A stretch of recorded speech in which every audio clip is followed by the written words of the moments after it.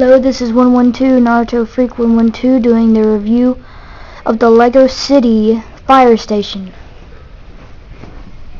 The Lego City Fire Station, there are a lot of different things about it. Like the flag right here and the little antenna. Then this opens up to reveal a little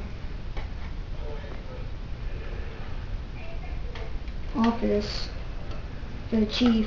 Then they got these windows right here.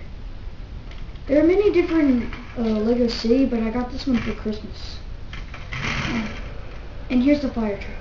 The fire truck's pretty cool because you can pull this up and it keeps going. And it comes out.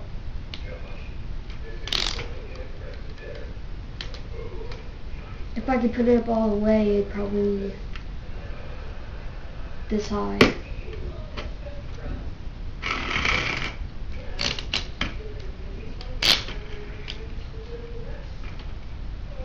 And then there's this little trick.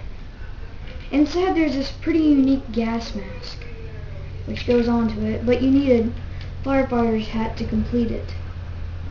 I don't have the fire people right now, if but if I do a stop motion of this, I'll put the gas mask in it. This opens up. And then inside of it,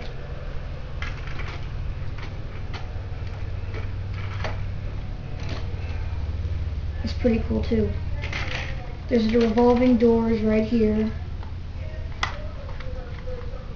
And there's this laptop and then computer. And there's this little thing that I that I added for two dollars, like six dollars plus shipping and handling, two dollars plus shipping and handling. And then there's this right here, this little garage.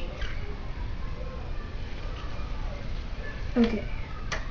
Here's the last part of my review. This little thing right here, you probably can't see it, but it's like a little canopy with a shovel, a comb, a brush, a broom, a trash can, and a walkie-talkie.